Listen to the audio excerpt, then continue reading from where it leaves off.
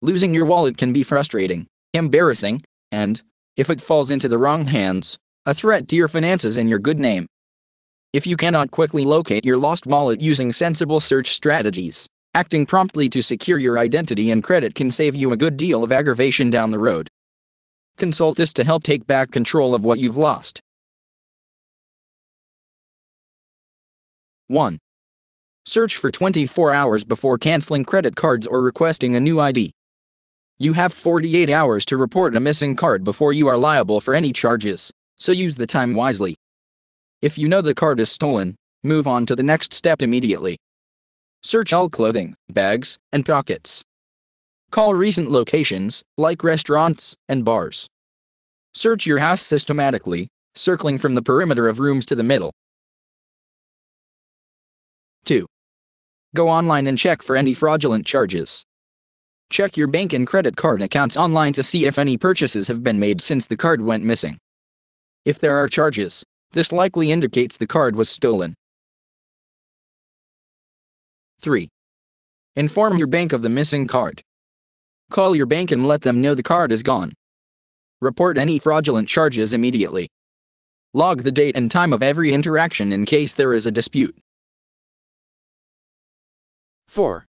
Cancel any credit or debt cards. Call the institutions involved and request a new card. If you have any alternate copies, cut them up and discard them. You may need to provide bank information to verify your card is missing. MasterCard 1 800 627 8372.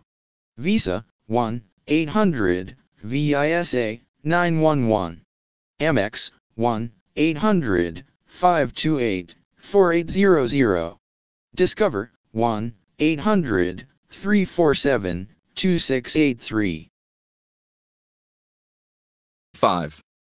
Call the major credit bureaus and to request a fraud alert on your credit line. This helps prevent serious changes to your credit score. The numbers are Equifax 1 800 685 1111, TransUnion 1 800 888 4213. Experian 1 888 397 3742. 6. Apply for a replacement ID call, visit, or go online to check your state DMV's policy on new licenses. Many let you get your first replacement online, though it does cost money. 7. Call your insurance company and request a new account number. You should do this for medical, dental, and auto insurance to avoid potential identity theft. 8. Report potentially stolen property to the police. They will let you know if something comes up.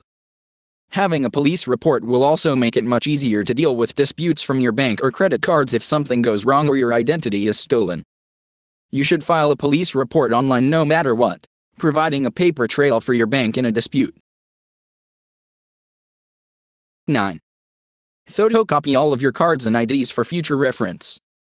It is much, much easier to remedy a lost wallet if you have copies of all the documents and cards. Never carry your social security card in your wallet, even a copy. Part 2 Searching for your wallet. 1. Relax, focus, and think. Have you ever gotten angry because you can't find the remote or the cornflakes? Then gotten even angrier because nobody in your house can put things back where they belong, then eventually calmed down and realized the remote air corn flakes are in fact exactly where they belong and you just missed seeing them. When we panic about losing something, especially something important like a wallet, we lose focus and can easily overlook obvious clues or even the item right in front of us. Take several deep breaths and try to clear your mind. Try not to think about all the problems you'll have to face if you can't find your wallet. Focus only on the wallet, where it should be, and where it could be. Then begin your true search. 2. Look again in places it would normally be. Your first search was probably increasingly panic stricken and thus increasingly useless. Now that you are calm, pick out the most obvious spots where your wallet would be the pocket of your pants hanging on the chair, your nightstand, your desk at work, and give a proper search. Search in proximity to the obvious places as well the floor around your nightstand, your other desk drawers slash pants pockets, etc. 3. Retrace your steps.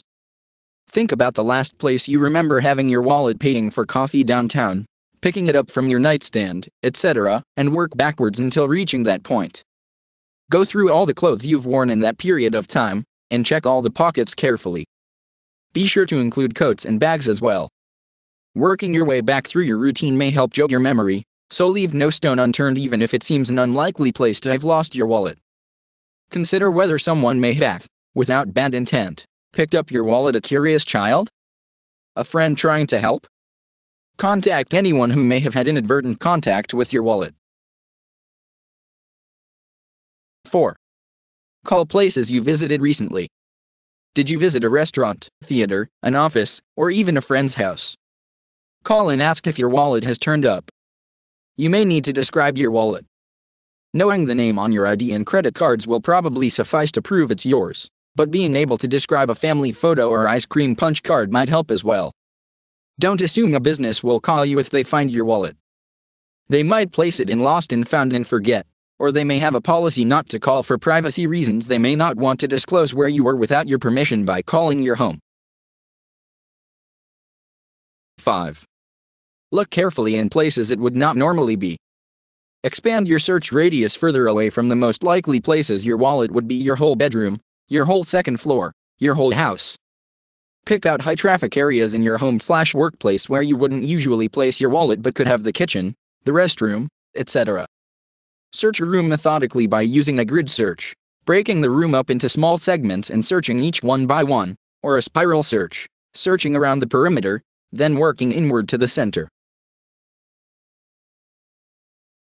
6. Assume your wallet is stolen if not found within a day or so.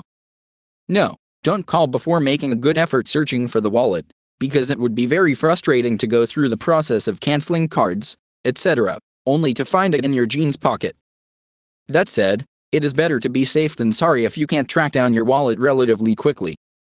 Your liability for purchases made with a stolen debit card begins after 48 hours, at $50, and other lost cards may have deadlines for reporting as well. And even if you are not liable for credit card purchases, it is much easier to stop fraudulent charges before they can happen than deal with them after they do. Part 3 Protecting your identity and finances. 1. Call your bank, S, and report your debit card, S, as missing. Because laws governing debit cards and credit cards are different, you should make this call first and within 48 hours of losing your wallet to protect yourself from fraudulent charges. If you alert your financial institution within 48 hours, your maximum liability is $50. Within 60 days, it is $500. After that, your liability is unlimited if someone is using your card. Because your debit card is linked to your checking account, and your checking accounts may be linked to other accounts, expect to receive not only a new debit card slash number but also new account numbers. You will also need new paper checks. Keep in mind any automatic payments you may have through your debit card or checking account, phone bill, life insurance premium, etc. You will need to update the payment information on these when your account number changes. Yes, this is a hassle, but it is better than having your bank accounts drained and then having to jump through hoops to have your funds restored. 2. Report your credit cards as missing. You don't actually need to cancel them, which would necessitate applying for cards all over again. By reporting them as missing slash stolen, you will get new cards with new numbers but be able to retain your current account status. You maximum liability for fraudulent credit card charges is $50 and is $0 if you contact the company before the card is used fraudulently, but it is easier to prevent fraudulent purchases before they happen than work to erase them afterward. Program the customer service numbers for your credit card companies, as well as your banks, in your phone so you can contact them quickly. Don't forget store issued credit cards as well. 3. File a police report for a lost or stolen wallet. No, Finding your lost wallet isn't likely to be their first priority, but making a police report is an important way to protect yourself regardless. Filing a report creates an official documentary record of the loss and your recovery efforts. This can prove quite valuable for any insurance claims, fraud liability resolution, identity theft problems, or other issues that might arise. Provide as accurate and detailed an account as possible, with specific time frames and locations. Keep a copy of the report for your records. 4. Call the major credit bureaus to protect your credit rating. In the U.S., contacting one of the three major agencies TransUnion, Equifax, and Experian should suffice, since they are required to share this information, but it can't hurt to notify all three directly. A fraud alert will be placed on your accounts, meaning that any attempt to extend further credit will require identity verification.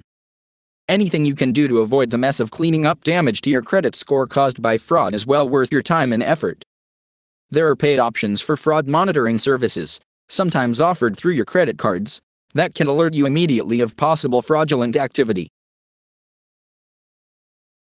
5. Replace your lost identity cards.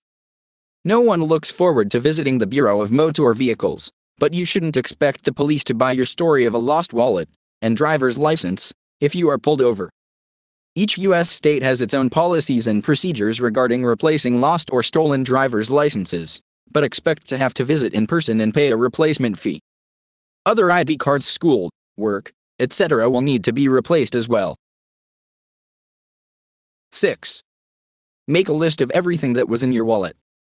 Try to remember as much as you can, and see if you can come up with anything else that needs to be reported or replaced. Don't forget about store discount cards or even a library card. These may seem like small potatoes compared to debit and credit cards, but they may permit access to personal information that you don't want in someone else's hands. Basically, you want to start over from scratch in order to make the contents of your lost wallet as worthless as possible, both financially and in regards to your identity.